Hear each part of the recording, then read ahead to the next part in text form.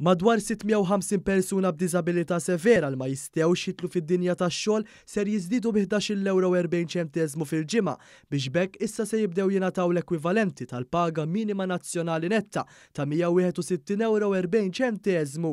Ħabbar dan is-Segretarju Parlamentari għall-Anzjanità Attiva u l-Persuni b'Diżabilità Anthony Agius Decelis F'konferenza tal-aħbarijiet dwar il-miżuri tal-baġit għas-sena d-dieħla, saħaq kif din il-miżura b'saħħitha tal-baġit ser tingħalaq wegħda elettorali oħra ta' Gvern Laburista. Iktar b'saħħithom hija li dawk il-persuni b'diżabilità li ma jkunux jistgħu jidħlu fid-dinja tax-xogħol, u aħna bħala Gvern għamilna diversi inizjattivi biex l-ewwel ħaġa jekk jista' jkun persuna tidħol fid-dinja tax-xogħol, imma nafu li għandna pockets, ta' nies li tgħinhom kemm tgħinhom, jippruvaw kemm jixtiequ kemm jixtiequ, ma jirnexxilhomx jidħlu fid-dinja tax-xogħol. U dawk ukoll irriduhom jgħixu b'dinjità u bi kwalità ta' ħajja. Agius Decelis qal kif dan il-budget fih 23 miżura li jolqtu lil anzjani u persuni b'diżabilità, bin-nefqa għal dawn is-servizzi offruti tul is-sena 2020 ser tkun ta' 200 miljun ewro.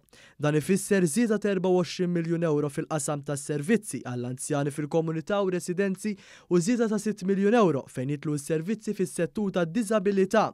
Huwa semma wkoll diversi miżuri kruċjali fil-qasam tas-servizzi tal-anzjani, fosthom l-għotja ta' 300 ewro lil anzjani ta' 75 sena jew aktar u li jgħixu fil-komunità, u ż-żieda ta' 50 ewro fl-għotja lil anzjani li jagħlqu 80 sena u joqogħdu f'darhom. Għal ewwel darba wkoll l-għotja ta' 300 ewro ser tingħata lil anzjani li jgħixu f'residenzi tal-anzjani privati.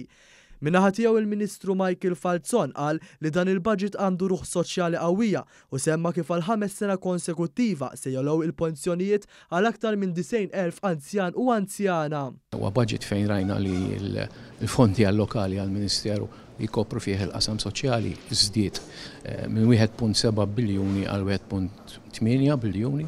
Kien hemm diversi miżuri X'ngħidlek li laqtu ħafna nies bħal żidiet fil-pensjoni, hemmhekk qed nolqtu 92 elf, madwar 92 elf persuni. Il-Kummissarju għad-Drittijiet tal-Persuni b'Diżabilità Oliver Scicluna laqa' b'mod pożittiv diversi miżuri fil-Budget u faħħar il-ħidma tal-Gvern li għamel passi ta' ġgant fejn jidħlu diversi kundizzjonijiet. Kuntent ħafna għal din id-darba għall-fatt li l-persuni li għandhom il-kundizzjoni tal-fibromialgia u l-ME kien hemm pass mill-naħa tal-Gvern biex jiġu ippuxxjati u jiġu rikonoxxuti biex b'hekk tibda l-journey ngħidilha jiena biex dawn il-persuni jibdew jiggwadanjaw u jiġu assistiti u jingħataw għajnuna.